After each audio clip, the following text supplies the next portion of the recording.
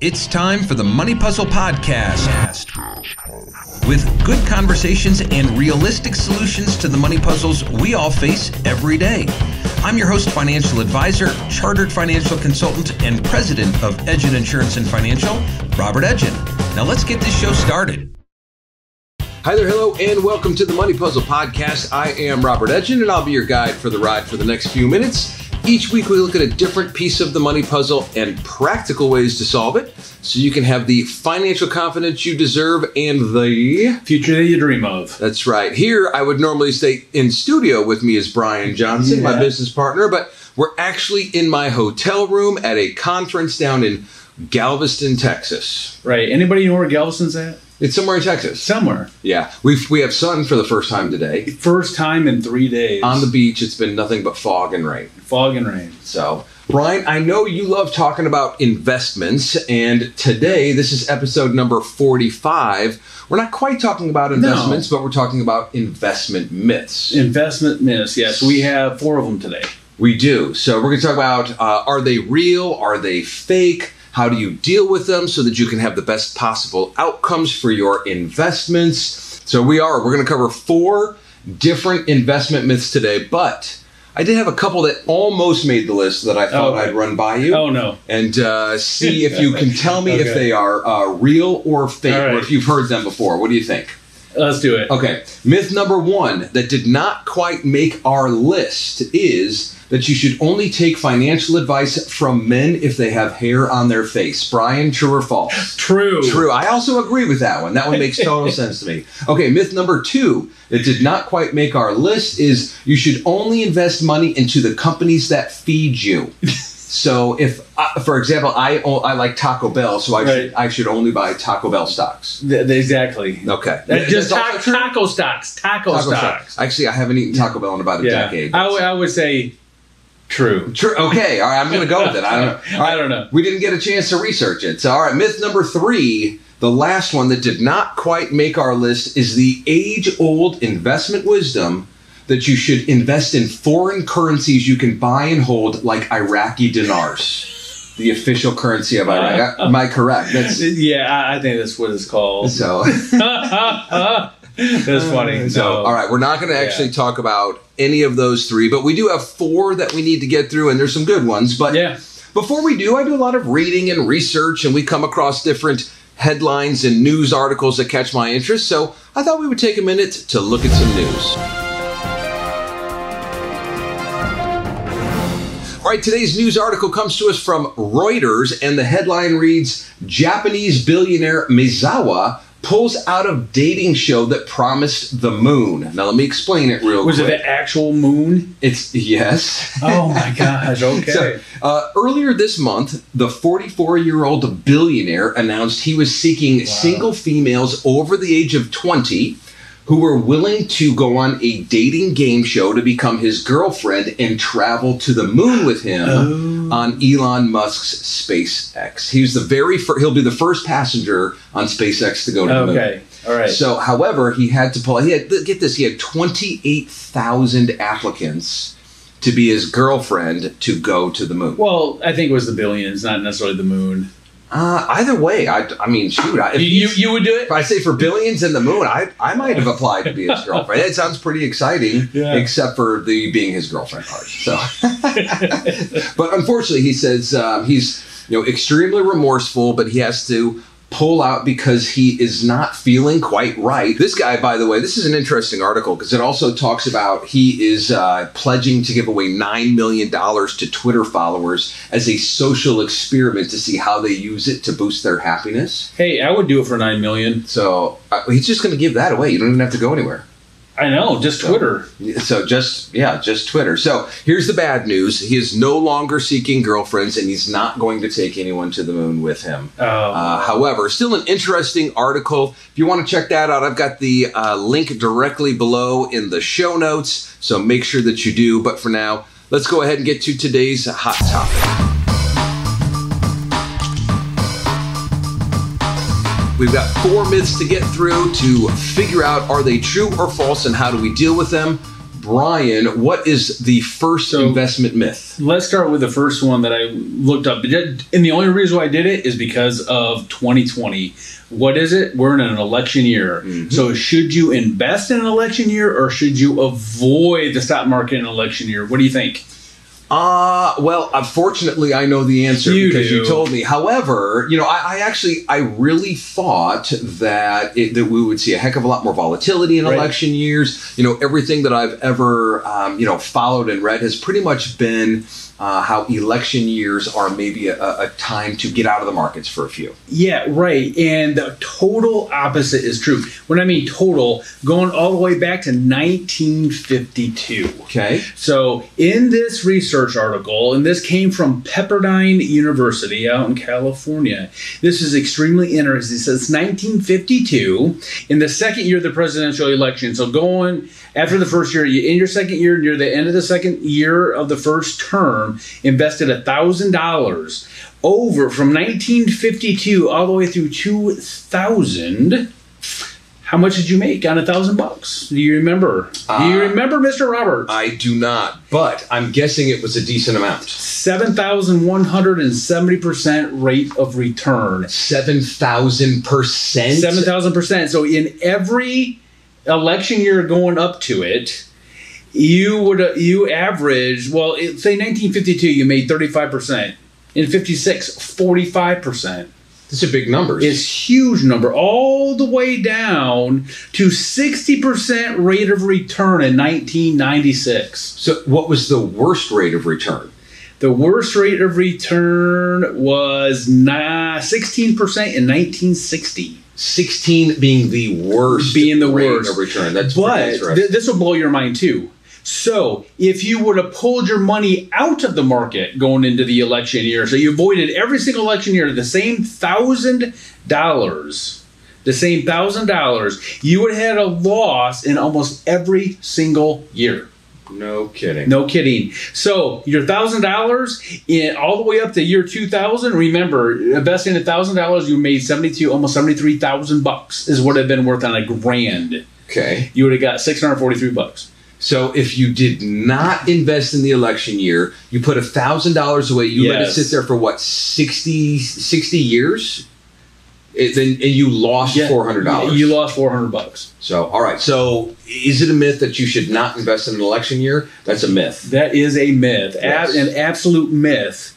And a lot of it has to do with what I was reading, especially going in. It doesn't matter who the president is or what party they're from, is going into that second term. The market's like certainty. They're hoping that things continue on as they were. If they've been doing well, and so that's why a lot of the changes are are there. Well, in markets in general, like certainty. You know, Yeah. nobody likes volatility, And- although it does create opportunities. But certainty pushes the market forward. Yeah, that, that was a Pepperdine study. This one was in November of last year, November 2019, put out by USA Today.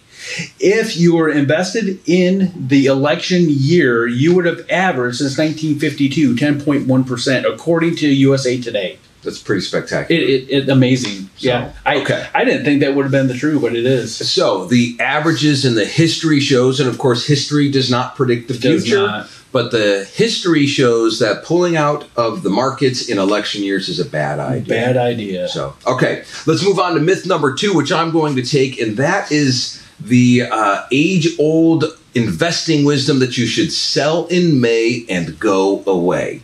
I Yeah. think it was just because of a rhyme. So, well, it does sound good. It does. We know all good investment myths rhyme. Yeah, I So, guess. That's right. This is actually based on the theory that stocks underperform in summer months.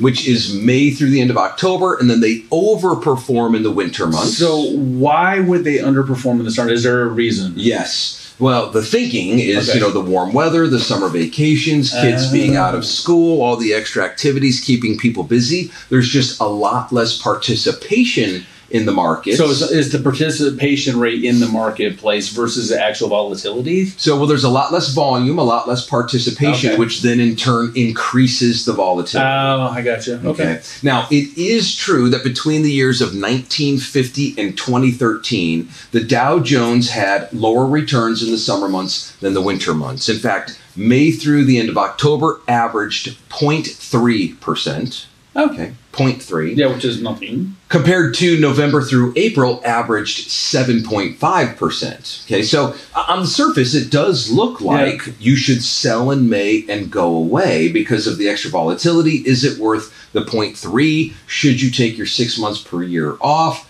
However, there's always a however in life. There's always a, a, however. There are a few reasons that you should not sell in May and go away. For example, not every year sees higher returns in the winter months and lackluster returns in the summer. Just a few years ago in 2016, the NASDAQ rose uh, 8% just from May through October. So pulling out in 2016, you would have missed out on that 8% return. But, but let's say that it every single summer, for hypothetical reasons, every single summer, it was a 0.3 return. Yep what does that create for all of us would be investors out there? Opportunity. So right because yes. it because what was what was the time frame for the big increase? Uh, May through October.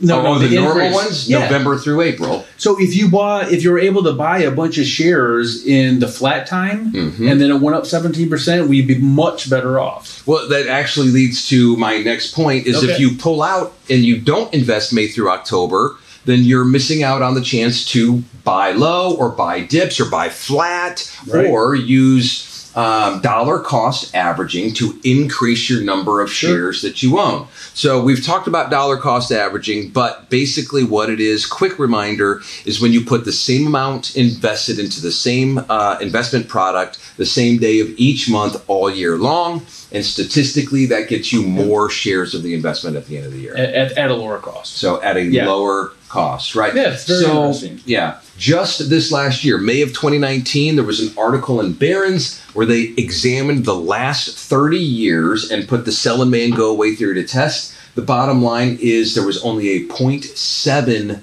percent difference oh, okay. in selling and going away, and that was before, or it was not including things like taxes that maybe happened, right. trading costs that okay. might have happened, and it assumed you know uh, you don't get that dollar cost averaging. Right. so no extra investments. Okay. You know so should you sell in may and go away? No. No. You know statistically speaking you are still better. It's not timing the markets it's time in the markets. And if you're in dividend paying mm-hmm. funds or etfs or stocks you're going to miss a quarter if not more of dividends. So that's right. All right so Two myths down. Both of them so far are busted. Right. What's myth number three? The third myth is bonds. Are bonds safer than stocks? I've definitely heard that before. Yes. Yep. And so the answer is yes and no. Okay. Okay. Here's why. What I was what I was got uh, thinking about and everything is how bonds work. If people know how bonds work with the market. Interest rates go up, bonds go down. Interest rates go down, the value of bonds go up. Right? It all yep. has to do with interest rates. So in today's market, we're at a crazy low interest rate. I mean, mm-hmm. look at some of the yields that have been taking place.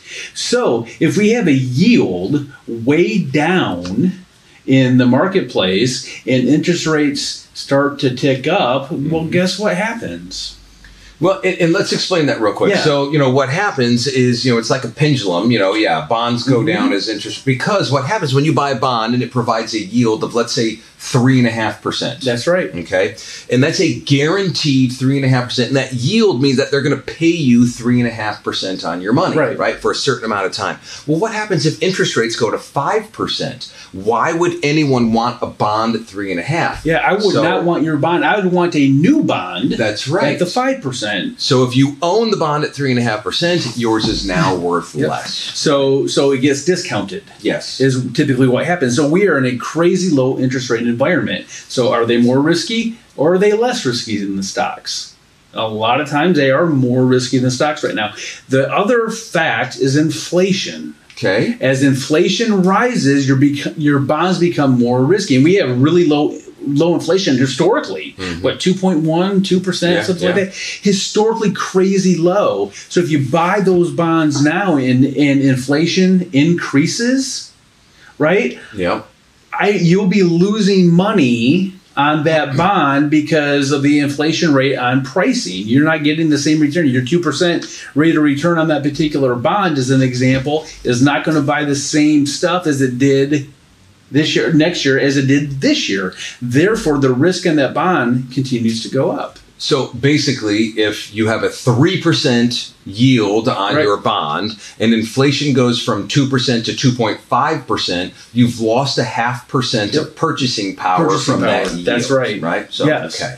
So the myth is it busted? It's yes and Kind no. of. Kind Yes of and no. Kind Yeah. of it is. It- It, depends on the time frame and interest rates and inflation. So, okay. So that was a good one. So, should you invest in bonds over stocks or stocks over bonds? Really, I think the answer is it depends on what the goals are. Right. It depends on what the goals are. Yeah. Yeah. It depends on your age, if you're needing income, and diversifying out your risk. Right. And it does. That's a big thing. You know, so is it safer than bonds? Well, yes and no. Well, right. Is it more safer than stocks. Um, that's right. Thank you. Is it, uh, you know, more risky than stocks? Yes and no, just depending on what you're comparing it to, which is why it's a great reason to diversify your Yep. portfolio. Absolutely. Okay. That leads me to myth number four, Yes. which is the only things that you should invest in are low fee investments because fees are the most important thing. And investing with guys with beards. Yeah, well, that of Yeah. course that's an that's a given. That is. Yeah, that's yes. a given. So now I'm not talking here about the fees that you pay your financial advisor uh, or that your advisor charges. We actually did a whole show on that in episode number 10 when we reviewed that Vanguard case study about advisor Right. fees. So go check that out. That was very interesting. But we're talking about investing in things like an index fund, which has a lower cost than maybe a custom built portfolio full of ETFs and individual stocks or bonds or things like that. Right. Right. So, yes, here's the deal fees are important. The less you pay in fees, then the more money you make. But you should always have a conversation with your advisor about the fees of whatever it is they're recommending, and you should try to find out three things. First, what are the fees going to be? Right. Right? You need to find that out. Two, is there an alternative that could be used to accomplish the same thing with less fees? Sure. Okay. And then the third is are the fees worth it? You know, what is it about the investments that make the fees worth whatever the fees are? So give me an example. So, an example is, um, well, before I get to an example, let me Okay. let me go over one more thing. Right? Um, sometimes you need to build a portfolio with certain types of investments for a specific goal, like maybe True. income distribution. Right. Okay. So here's the example. You might need to trade a little extra cost for some guaranteed income Oh. returns. Okay. Okay. Such as um, an income producing annuity. Okay. As an example, that's a tool that has a higher cost than an index fund, but what does the cost get you? Exactly. Right? Get you some guaranteed returns. Well, right. If if I got, I don't know, two thousand dollars a month guaranteed to supplement my Social Security, that would be huge. hmm So yeah, and if you and if that's what you need, and the best tool to accomplish that happens to be an income annuity, then is an extra 0.4 percent worth it? Right? Yeah, I mean, with a guarantee, it is worth it. It's kind of like with Social Security, you got that guaranteed income, but what was the cost for you up front taking that money out of your paycheck for forty years? So that's right. You know, the question to ask isn't, well, it, it is to ask what are Yeah, the fees, right. but the second follow up question is what is my net return? Exactly. Right? You know, so, you know, would you rather have an investment that cost you 1% and then netted you 2.5 Mhm. or would you rather have an investment that cost you 1.5 but netted you 3.2? Right? Ultimately, it's just which one Right. does better for you, Yeah. which one helps you accomplish the goals. That's the number one. Which one helps you get to your goal better? That's right. Because costs might allow you to get some more complex investment strategies, right? Yep. Sometimes investing in a very um, highly managed, actively traded portfolio is needed for certain goals. Yeah. Those are going to have some extra fees. The question is, what is the net return and are those fees worth it? Right. Okay, so that's what you look at. So, okay, pay attention to the fees, but pay attention to the big picture too. So, I would say number four, you know, are should you only invest in the lowest cost fees? I'd say that myth is busted. You should Yeah. invest in the product that accomplishes your goals. Yes. Right? Goals are number one. Goals are number one. So, okay. thank you for joining us in Galveston, Texas, in this wonderful hotel room. Brian, thank you for Yeah, being here. welcome. We're going to get back to the conference. That's it for this week.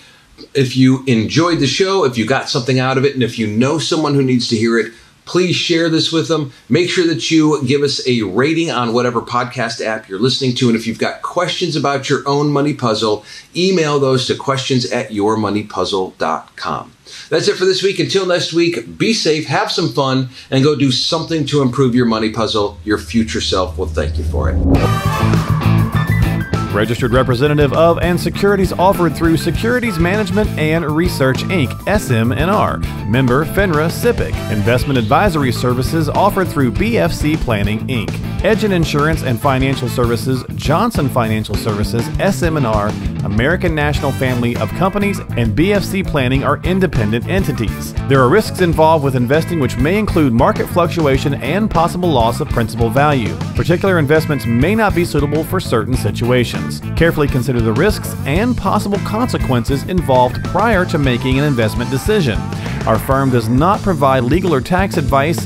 Be sure to consult with your own legal and tax advisors before taking any action that may have tax implications.